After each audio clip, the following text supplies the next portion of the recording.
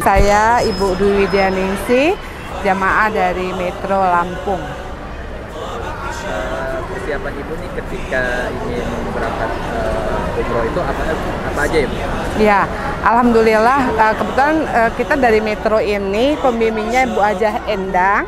Jadi beliau luar biasa uh, dengan jamaah perhatiannya persiapan tuh dari nol sampai apa namanya uh, sampai terakhir ya. Benar-benar persiapan tuh matang betul. Mulai dari apa namanya uh, uh, suntik meningitis sampai paspor di mau buat paspor diantarkan dengan beliau.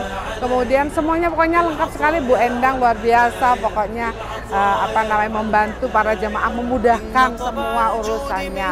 Jadi yang tadinya jamaah tidak tahu nih jadi tahu gitu. Dengan sahabatnya beliau membimbing kami baik itu mulai dari yang usia muda sampai yang usia tua itu benar-benar Bu Endang luar biasa. Is the best lah pokoknya. Hari ini apa tuh? Ya alhamdulillah bersyukur ya. Pertama bersyukur ya Mas ya kepada Allah eh, atas izin Allah rezeki yang diberikan kita bisa berangkat.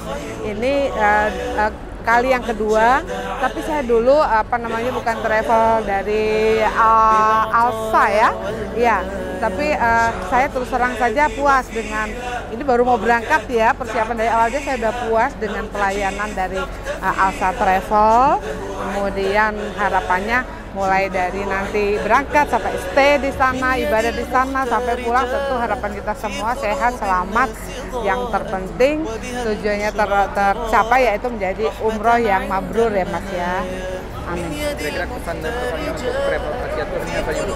Ya, yang jelas sekarang sudah bagus nih Mas, tapi ke depan harus lebih ditingkatkan lagi pelayanannya uh, karena terus terang persaingan ini kan pasti banyak sekali ya Mas, travel-travel umroh yang lainnya pasti banyak sekali dan ini yang perlu dicari terus ide-ide bagaimana melayani supaya nanti ke depannya makin banyak nih jemaahnya yang ingin uh, umroh bersama Alsa Travel ya. Uh, pimpinannya Pak uh, Al Ustadz Al Habsi ya, luar biasa Mudah-mudahan semakin sukses, semakin berkembang dan uh, jemaah yang ingin bersama Alsa ini semakin uh, banyak. Amin. كثرت عندي الحكايا كثرت عندي الحكايا يا رب صل